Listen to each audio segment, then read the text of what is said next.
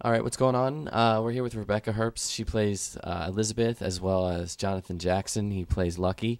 And um, I'm just going to jump to you really quick and then we'll come back. But what was it like to work with Luke and Laura at such a young age? And obviously you're back now. Um, how is it to come full circle? Uh, it, it's amazing. You know, I was 11 years old when I first started working with them, and I had no idea who they were. You know, Luke and Laura didn't mean anything to me because I was I was born after that, after the the heyday and everything. But just as people, um, Anthony Geary and Genie Francis were the most amazing people that I could ever have been blessed to work with as a kid.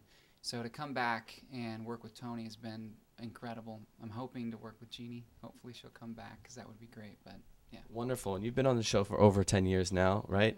And so how has your um, your character evolved from an artistic standpoint? You know, what what are you pulling into your work? Obviously, you're pregnant now, so maybe you use some of that into your work, but how do you feel like you were able to maintain that success? Um, well, you know, the writers have done a really excellent job with Elizabeth in giving her many layers. She came on the show as this um, this naughty little girl who was causing trouble, and then she had that unfortunate um, rape storyline, and that turned her life around. And since then, she's been through one crisis after another, and and has experienced many tragedies and, and uh, as well as joys in her life but she's just got a lot going on and she's a very relatable character which again i think the writers have done an awesome job Wonderful. And how have you dealt with some of the emotional strings that were b- pulled between Elizabeth and the Nikolas affair? Um, I don't know how you what you put into it, but what are some of your inspirations, or how how is it on you as a person and or an actor? Well, it's uh, it's a complex process, and I think as actors, it, it it's unique to each person. You know, you draw on your own life experiences, um, your own creative instincts, and um, for me, I just sort of it's acting as sort of a spiritual process of of tapping into all the different emotions that we go through as people, whether it's compassion or fear. Or, um, anger or desire, whatever it is, you know, that we go through. Uh, for me, it has to do with my relationship with God and, and coming from that place. Wonderful, very spiritual and very grounded. That's amazing. And so far, uh, you as a person, what are some of the uh, similarities and the differences that you put into the character of Elizabeth um, from you as a person? What is something that's totally in left field that maybe you don't relate with, but you have to find a way to for Elizabeth?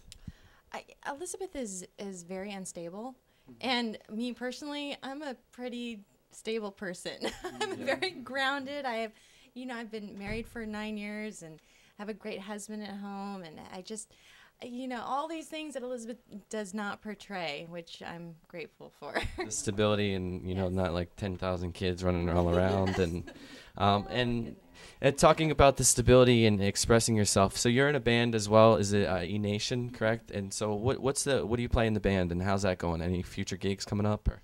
Yeah, well, I, I sing and play guitar and um, write most of the music and everything. Um, and it's just it's it's a blast, you know. I mean, we do sort of Radiohead, U2 type anthemic music. We do some Leonard Cohen, Bob Dylan kind of folk music, and the whole gamut of of uh, of music that we love to listen to. So um, I think we're playing at the the GH fan event um, this year, and we're also going to play at, at the, on the Sunset Strip.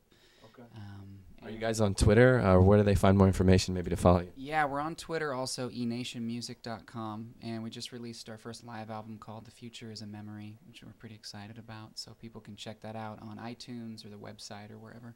Cool. And what was one maybe one of the most sincere things that you've heard from a fan? Maybe have you get a lot of fan letters? Obviously, are there any things that kind of stick in stick in your brain that was like so sincere or compelling or maybe off the wall? Um, you, it's hard to say one thing. I have an incredible group of fans out there that have really supported. Hi guys, that have really supported Elizabeth from uh, the get go, even when they don't necessarily agree with what she's doing. Um, you, and and they show their love by donating money to various charities, and I love when they do that. And what would be a charity that maybe uh, that you know resonates with you? On the Smile Train, The Smile Train. I don't know about that. What what is what is that? um, it's an organization that fixes uh, cleft palates in unfortunate children. Wow, that's amazing. So, for coming from someone, you know, obviously soap operas are very beautiful people. So to be able to uh, spread that, but it, both inside and outside, that's pretty amazing. Uh, and so, if you could describe the experience of coming back uh, to um, to the show. What would how would you describe that in three words or less? Uh, familiar and brand new. Awesome. Well, we thank you so much for your time, and we look forward to a lot more success from both of you. Thanks again. Thanks. Well, that was it down here at Port Charles. We had a wonderful day. We love soaps, the cast of General Hospital. We had some amazing interviews, some beautiful women, some really talented gentlemen.